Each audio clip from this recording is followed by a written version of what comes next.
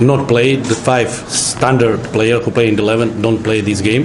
كما يعلم الجميع تحت ظل خمس غيابات للاعبين اساسيين في المجموعة And uh, the, we put strategy to wait Raja and try for the counter-attack to score. وبطبيعة الحال لعبنا آه، بامكانياتنا ولعبنا بطريقة أننا استنينا فريق الرجاء في, في, في, في وسط الملعب ولعبنا على المرتدات The first 45 minutes, for my opinion, is be excellent the Widad because Raja don't have one opportunity.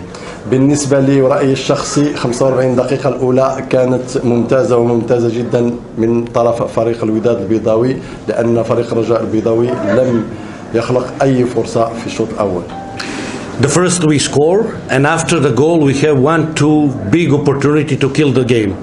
وبطبيعة الحال آه، سجلنا الهدف الأول وتحت لنا فرصتين كان كنا نسجلوا منهم الهدف الثاني وبالتالي ننهي المباراة The second half is normal reaction of the Raja because I know the five players who don't usually play don't have rhythm of the game and good condition.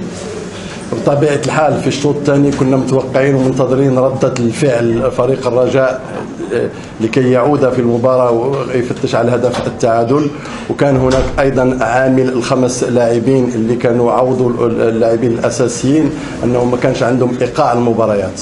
And rather he's be better, have more dominate the ball, more opportunity, and he score.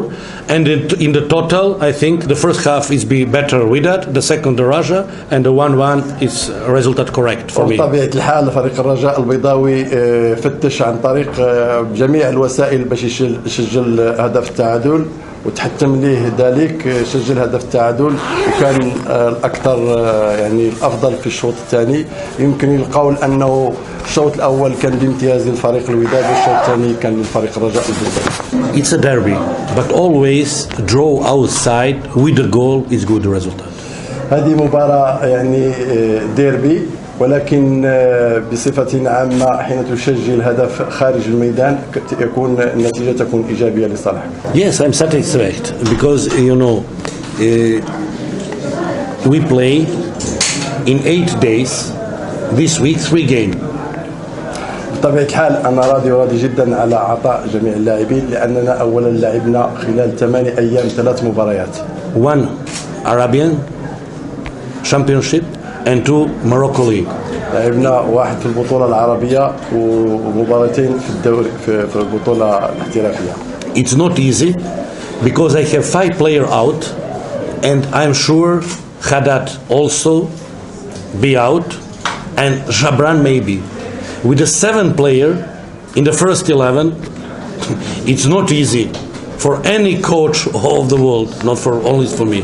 وكما تعلمون على أنه في ظل خمس غيابات وفي ظل كل هذه الإكراهات أكيد على أنه آه، هناك إصابة أخرى للاعب الحداد وممكن آه، رقم سبعة اللي هو جبران وأظن أنه السبع لاعبين أساسيين من ضمن 11 فهي إكراهية كبيرة But we have the.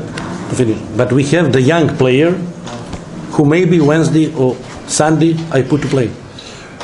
لكن هذا لا يعني شأن الوداد آه، هناك لاعبين آه، شباب ستعطى لهم الفرصة ويمكن يلعبون في المباراة المقبلة في الدوري إن شاء الله But uh, you remember my conversation before the game. I never, never cry because I don't play with the five player. And I like to see how Raja play, take out number 9, 30, 21, and the best player 5. How play? It's not easy. It's a normal. The player who come in the that team not have the rhythm, the level, the championship, the level, the, the Arabic Cup, and it's normal last 20 minutes go down. It's naturally.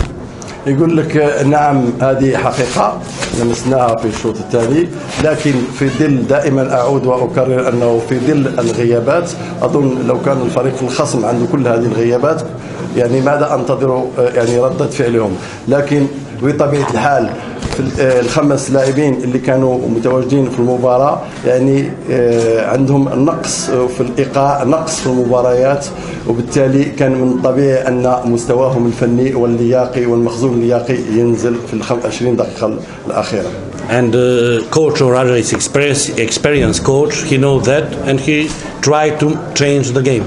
وبطبيعة الحال مدرب فريق الرجاء مدرب له تجربة وله حنكة كبيرة في الميادين وحاول بجميع إمكانياته واستغل الظرف وتأتى له ذلك بهدف التعادل.